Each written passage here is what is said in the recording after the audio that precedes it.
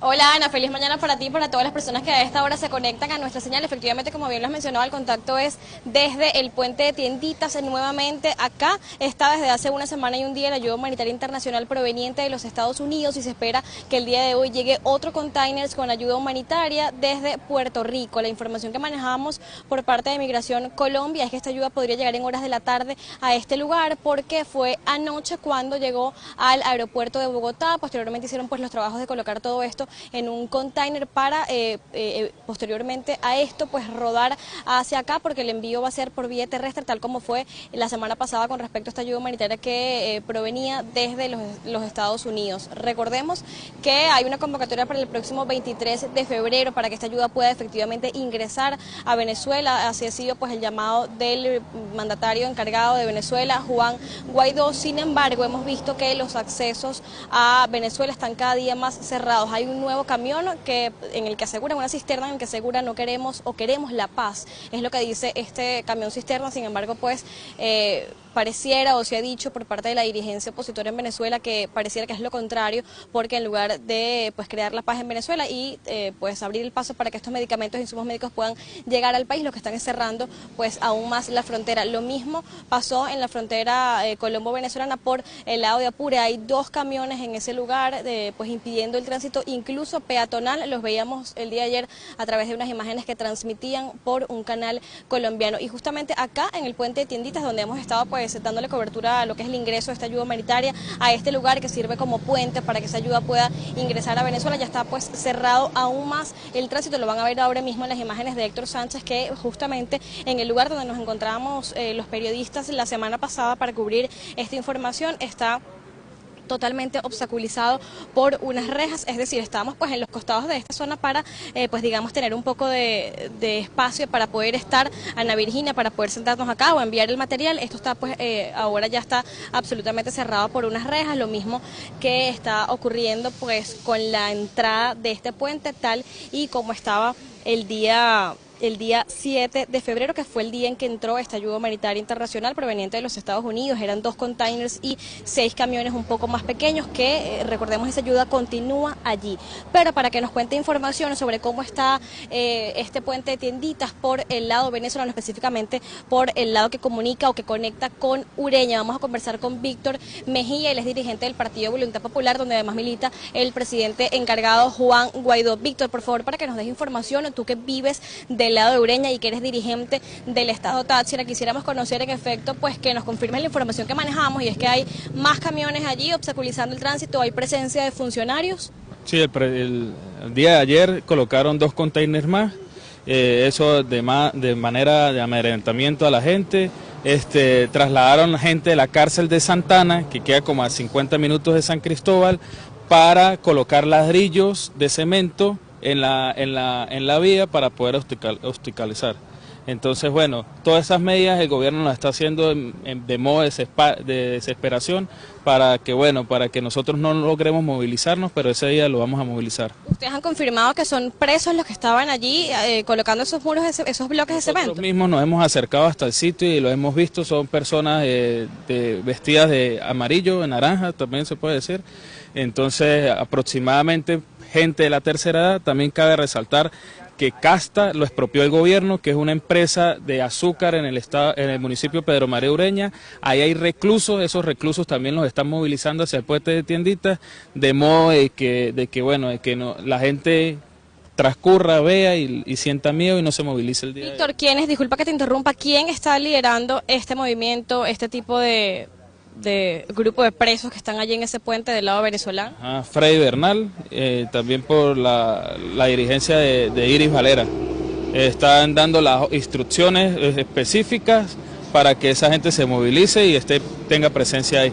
Ahora, en vista de que esto está ocurriendo, ¿cómo se preparan ustedes para el 23 de febrero lo que, lo que podría ser una concentración en ese lugar? Han dicho los dirigentes opositores como Juan Guaidó y Lester Toledo que la ayuda va a entrar sí o sí a Venezuela y afirman que será con la ayuda de los venezolanos e incluso de la Fuerza Armada Nacional. ¿Cómo se puede hacer esto si hay presos en ese lugar, hay funcionarios de las FAES, hay cemento en el piso? ¿Cómo se puede hacer? ¿Cómo se puede lograr? Nosotros los venezolanos y más los tachirenses estamos restiados y estamos con la esperanza del 100% para que, bueno, para lograr que la ayuda humanitaria pase. Nosotros no somos, eh, no, no pretendemos ni llegar a la violencia ni nada, sino movilizar que los presos, que la Guardia Nacional, que los funcionarios que estén ahí sientan el calor humano, que sientan eh, el gentío que va a estar ese día allá, que ellos logren bajar sus armas y dejen pasar la ayuda humanitaria que también va a ser para los familiares de ellos y va a ser para todos los venezolanos. ¿Qué esperan ustedes para el 23 de febrero en el sentido de la movilización? ¿Sería solamente los eh, venezolanos que están en el estado Táchira, que están cercanos a esta frontera? ¿Ya han conversado con ellos ustedes como dirigentes políticos? ¿Están dispuestos ellos a venir a la frontera? Sí, este, todo el estado Táchira se va a movilizar de punta a punta, de, norte a sur, de este a oeste, se va a movilizar. Eh, hasta los momentos no tenemos entendido que, que, se pueda movilizar de otros estados, pero sí tenemos muy claro que todo el estado Táchira se va a movilizar hacia el puente de Tienditas. Bien, muchas gracias, Víctor. Escuchaban ustedes entonces a Víctor Mejía Ana, él es dirigente del partido Voluntad Popular. Él está dando pues una denuncia que además nos parece grave, digamos, que hay, eh, pues en este caso, algunos presos de la cárcel de Santa Ana que fueron los que colocaron estos bloques de cemento, en el, de cemento, mejor dicho, en el lugar para, pues digamos, hacer mayor los obstáculos por parte del lado venezolano en el puente de Tienditas. Además hay dos containers más a los que ya había anteriormente, recordemos las imágenes de la semana pasada, que habían dos containers y una cisterna. Quiere decir que entonces en este este caso hay tres containers y dos cisternas. En una de ellas asegura, en una de las cisternas aseguran, eh, pues, o han escrito, no, eh, mejor dicho, queremos la paz. Esto, pues, liderado según el dirigente del Partido Voluntad Popular por Freddy Bernal, es un líder oficialista que está en ese lugar desde hace aproximadamente, pues, dos semanas, digamos, ante todo este movimiento de la ayuda humanitaria internacional o antes de que esto llegara a este puente de tienditas. Han dicho los oficialistas que no van a permitir ninguna invasión militar en Venezuela, ninguna intervención y han recalcado los dirigentes de la oposición venezolana o el propio gobierno encargado de Juan Guaidó que lo que menos quieren es una intervención militar e incluso los dirigentes o los representantes en este caso de Colombia y de Estados Unidos, Ana, recordemos que la semana pasada dieron una rueda de prensa justamente con la ayuda humanitaria detrás de ellos y aseguraban que no querían una pues intervención militar en Venezuela, simplemente que esta ayuda pudiera llegar a los venezolanos afectados en Venezuela, que eh, pues digamos los más graves se calculan entre 200 y 300 mil ciudadanos. También, pues, eh, digamos que hay una, una confirmación de que esta ayuda podría llegar en horas de la tarde del día de hoy porque ya hay pautado para mañana en este lugar una rueda de prensa con representantes de Colombia y de Estados Unidos. Entendemos que eh, pues entonces sí, en efecto se daría hoy la llegada de esta ayuda humanitaria porque así fue justamente la semana pasada. Estábamos acá esperando que el día jueves llegara la ayuda humanitaria y ya habían en este caso convocado una rueda de prensa para el día siguiente. Esperemos pues que, que esto sea así. Vamos a estar muy atentos a la llegada de esta ayuda el día de hoy que viene de Puerto Rico esta vez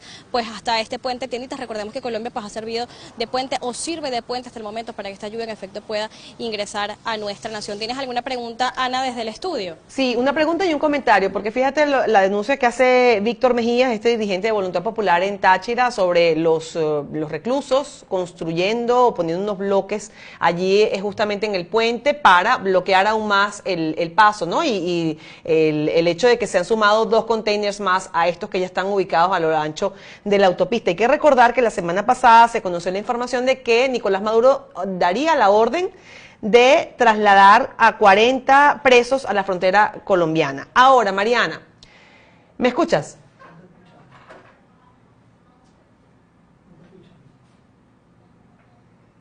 A ver, vamos a escuchar a Mariana que está diciendo algo. Nosotros, sin embargo, pues te podemos comentar o podemos continuar reiterando que en este momento no hay presencia de medios de comunicación acá, somos dos medios los que estamos acá pues cubriendo, digamos, lo que podría ser la llegada de esta ayuda humanitaria proveniente, esta vez de Puerto Rico, nos ha confirmado Migración Colombia, la jefatura de prensa de esta institución, que sería en horas de la tarde cuando esta ayuda pudiera llegar nuevamente eh, pues a este puente de tienditas, como la semana ocurrió con la ayuda que estaba o que venía desde los Estados Unidos. Em, esta, esta ayuda llegó por avión hasta Bogotá, la capital capital de este país colombiano que ha servido pues de apoyo o de puente para muchos venezolanos que están padeciendo una crisis humanitaria sin precedentes. El día de, el ayer, mejor dicho, llegó esta ayuda hasta allá y viene eh, nuevamente por vía terrestre hasta este lugar. Podría tardar entre 14 y 16 horas, por lo que pues entendemos que pudiera ser en horas de la tarde que se dé este pues esta llegada o tengan ustedes nuevamente las imágenes de cómo llega más ayuda humanitaria proveniente de otros países a Venezuela. También debemos eh, pues decir decirles que en unos minutos eh, entendemos que va a haber una protesta de maestros en el puente Simón Bolívar, por donde a diario cruzan miles de venezolanos para buscar alimentos o medicamentos o para incluso venir a trabajar. Allí estarán apostados exigiendo que la ayuda humanitaria internacional pueda en efecto ingresar a Venezuela. Se ha dicho que sería esto el 23 de febrero, cuando se cumple un mes de la juramentación de Juan Guaidó como presidente encargado de Venezuela. No hemos tenido la comunicación, entendemos que las señales o las líneas están un poco complicadas. Prometemos hacer un nuevo contacto con ustedes para, en efecto, responderte tus preguntas y, pues, evidentemente, escuchar tu comentario. Acá estoy viendo que hay... ¿Me escuchan?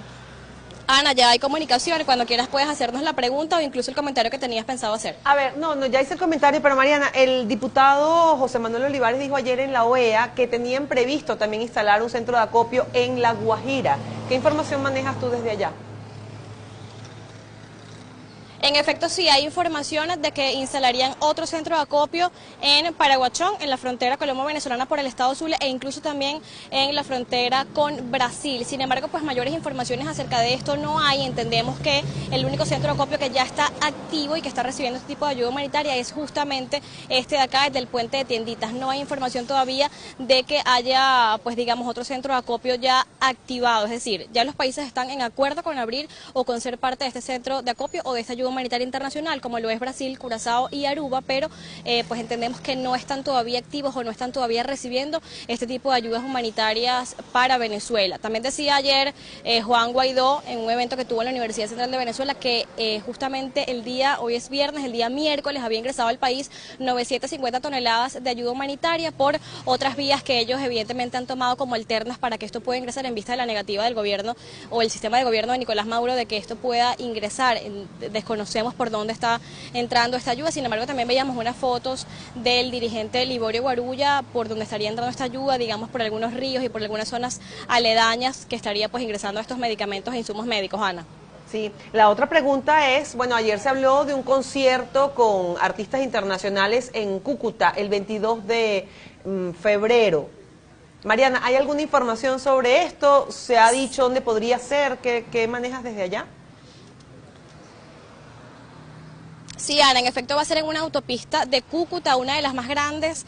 Entiendo que es la Gran Mariscal de Ayacucho. No estoy segura de este nombre, sin embargo fue algo de lo que me pudieron decir ayer algunos dirigentes políticos de Venezuela que están acá. Ellos tampoco eh, pues recordaban muy bien el nombre de la autopista, pero es muy cerca de este lugar donde nos encontramos. Digamos, pues a unos pocos kilómetros de acá se va a realizar este concierto por la paz en Venezuela. Ellos han hablado de que vienen al menos 15, 15 artistas de talla internacional y todo lo que se recaude en ese lugar va a ser también para los venezolanos. Evidentemente también estos artistas en otras oportunidades se han pronunciado en contra del sistema de gobierno de Nicolás Mauro e incluso a favor del presidente encargado Juan Guaidó como Alejandro Sanz, como Nacho incluso como Luis Fonsi son los que van a estar pues acá el 22 de febrero. Entendemos que a partir del 15 de febrero, es decir, a partir del día de hoy estarían pues ya armando lo que será esta tarima para poder recibir a todas las personas que quieran estar en ese, en ese concierto pues acá que se va a realizar el sábado 22 de febrero, según entendemos, a partir de las 10 de la mañana, que fue la convocatoria pues que, ha, que ya ha rodado por eh, pues todos, digamos, estos grupos que tenemos de prensa o incluso por